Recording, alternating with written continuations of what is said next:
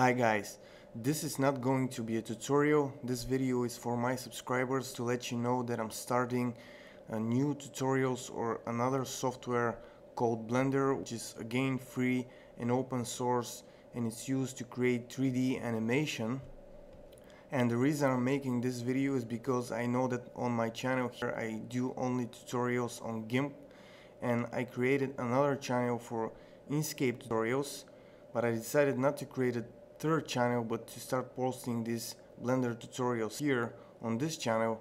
So if you for some reason you are not interested in this software and only in my GIMP tutorials just ignore when you see a tutorial about blender. I'm not going to stop creating GIMP tutorials. I'll continue doing that but like I said if you're not interested in blender you can just ignore these tutorials and I'm going to create an introduction video to Blender talk about how you can use this software what kinds of things you can do with it but just to spike your interest I'm showing you something that I have made. This is a 3D pool table as you can see here.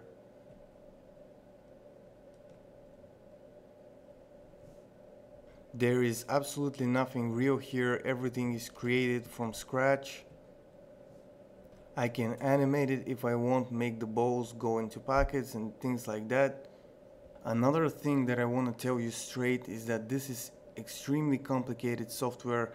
If you know GIMP, all the options there, know how to use them, this means that you know about 5% of this type of software. I'm not saying that the options here in GIMP are the same, but this is the amount of learning that you need to do to learn about 5% of this kind of software.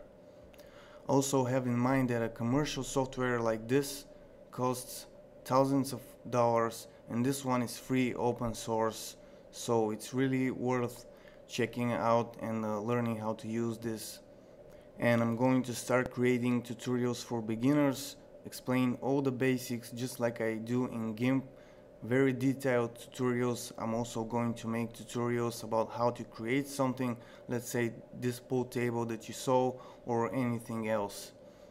So thank you for subscribing and watching my tutorials in GIMP and I hope you like the upcoming tutorials in Blender and that's it for now. Bye.